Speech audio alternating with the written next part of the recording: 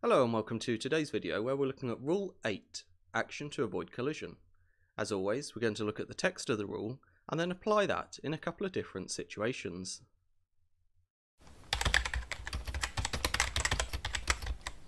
So Rule 8, Action to Avoid Collision. We'll just head straight for the first paragraph. Any action taken to avoid collision shall be taken in accordance with the rules of this part and shall, if the circumstances of the case admit, be positive, made in ample time, and with due regard to the observance of good seamanship. This paragraph is very much the common sense paragraph. Obviously, in accordance with the rules of this part means the action needs to comply with the rules, we know that, it needs to be positive, in ample time, and you've still got to observe good seamanship. It's all stuff we already know. The second paragraph. Any alteration of course and or speed to avoid collision shall, if the circumstances of the case admit, be large enough to be readily apparent to another vessel observing visually or by radar. A succession of small alterations of course and or speed should be avoided. So for example, in this crossing situation, obviously the blue vessel is going to have to keep out of the way of the green vessel. If they just make a small alteration, yes, they've made a bit of an alteration, but the green vessel hasn't been able to see what they're doing. And of course, as the blue one gets closer, they've got to make another alteration, and this is what we mean by a series of alterations. It's not obvious to the green vessel what the blue vessel is doing. And of course, the blue vessel has got to continue making more and more alterations until they get clear. Instead of that, what they should do is make one single bold alteration. Now, when the green vessel is looking over, they can immediately see that the blue one has taken action, they can see a complete change in aspect. They'll actually be seeing the vessel head on now, instead of seeing the broad starboard aspect. If there is sufficient sea room, alteration of course alone may be the most effective action to avoid a close quarters situation, provided that it is made in good time, it is substantial, and it does not result in another close quarters situation. The easiest way to explain this is to look at a speed alteration, in this case, the blue vessel is going to halve her speed. There, she's instantly halved her speed of approach to try and avoid collision. And look at how close she gets to that green vessel. That alteration of speed was not an effective alteration.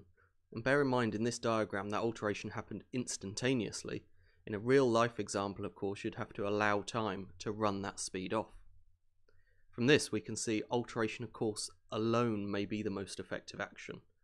It's immediately obvious, it's very easy to undertake, and you don't need to allow all that time to let speed run off your vessel.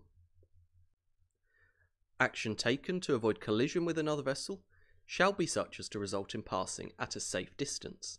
The effectiveness of the action shall be carefully checked until the other vessel is finally passed and clear. So again, this is kind of a common sense paragraph you need to take action that's going to keep you a safe distance. The rule doesn't tell you what that safe distance is, but that will depend on your vessel. So whatever action you take, make sure you have a safe distance. And then you need to continue checking until the other vessel is finally passed and clear. So if you are ever asked at what point you can alter back to your original heading, the answer will always be once I'm finally passed and clear, straight out of Rule 8. If necessary, to avoid collision or allow more time to assess the situation, a vessel shall slacken her speed or take all way off by stopping or reversing her means of propulsion. Again, this one kind of makes sense. If you need more time, just stop your vessel, stop running ahead, give yourself more time to assess the situation or avoid the collision. And now we're on to part F. Part F deals with not impeding the passage and safe passage. So it's actually quite a complicated rule and part F forms three parts.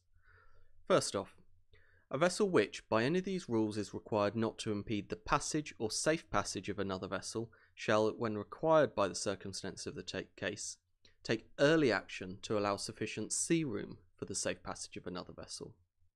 So a couple of things in here.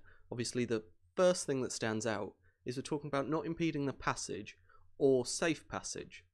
So within the rules, they'll talk about impeding passage or impeding safe passage, but the action taken is the same regardless of whether it is passage or safe passage.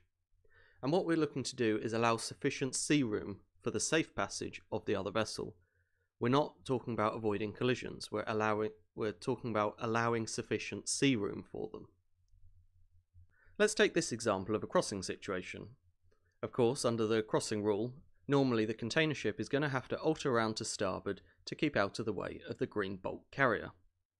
But what happens if, for example, we say that the container ship is constrained by a draft?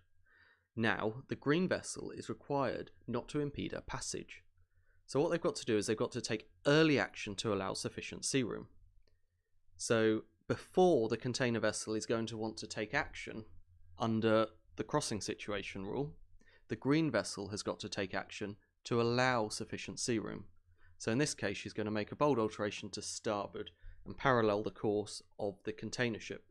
She's taken early action, allowing sufficient sea room. Then paragraph 2 of part F goes on to say, a vessel required not to impede the passage or safe passage of another vessel is not relieved of this obligation if approaching the other vessel so as to involve risk of collision, and shall when taking action have full regard to the action which may be required by the rules of this part. And what this basically means is that you cannot say, oh, risk of collision exists, I'm going to apply the crossing situation rule and stand on. So we'll go back to our example here. We know the container vessel is actually the giveaway vessel. The green vessel is just meant to be allowing her sufficient sea room. But the action the green vessel takes needs to bear in mind what the container vessel may do.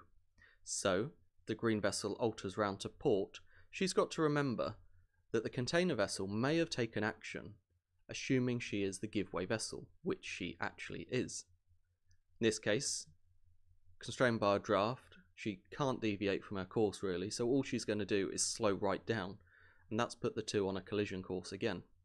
What the green vessel needs to do is bear in mind the action that she may take, which is why the typical thing to do would be to make a bold alteration round to starboard and parallel the course of the container vessel. Then the third paragraph just goes on to confirm that again. A vessel, the passage of which is not to be impeded, remains fully obliged to comply with the rules of this part when the two vessels are approaching one another so as to involve risk of collision.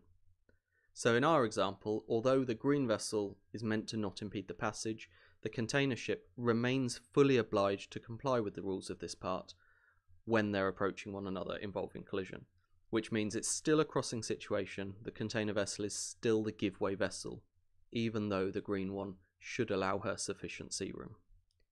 And that brings us to the end of Rule 8. Hopefully you found the information useful. If you have a thumbs up is always appreciated. If you've got any questions or comments, leave them below. And if you want to stay up to date with all the videos that I publish, hit that subscribe button. Until next time, thank you for watching, and goodbye.